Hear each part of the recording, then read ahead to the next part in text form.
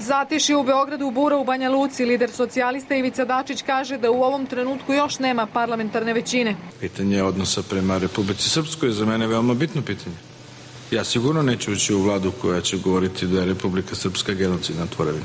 Mi smo poslednji put se dogovorili da demokratska stranka nastavi razgovore sa ostalim partnerima. Znači, siguran sam da će se, da će, treba da se brzo formira vlast, to nije sporno, ali ta vlast mora da se zna na kojim, na kojim, na kojim prioritetima ćemo imati konsenzus. Mišljenje o novom sastavu vlade Srbije ima i predsjednik Republike Srpske Milorad Dodik. Smatra da za jednu koaliciju nema mesta u budućoj vladi. Ukoliko Čedomir Jovanović bude deo nove vlade, najavljuje i konkretnu reakciju. Odnosno ja slažem potpuno da Čedo Jovanović ne bude tamo. I mi ćemo protestovati protiv bilo kakve vlade i mislim da će usložiti saradnju naših institucija vlasti sa vladom Srbije u kojoj bi bio neko ko govori ružno o Republike Srpskoj. Nama takvi ne trebaju.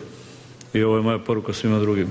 Bez oklijevanja ćemo distancirati se od politike takve vlade. Ako to Srbiji treba, nek onda uzme Čedi Ivanović. Umeđu vremenu spekuliše se da će nova vlada biti manja od prethodne i da bi mogla imati 15 do 17 resora. Neki od resora biće spojeni, pa bi Ministarstvu prosvete trebalo da bude dodata i kultura, a resoru infrastrukture prostorno planiranje.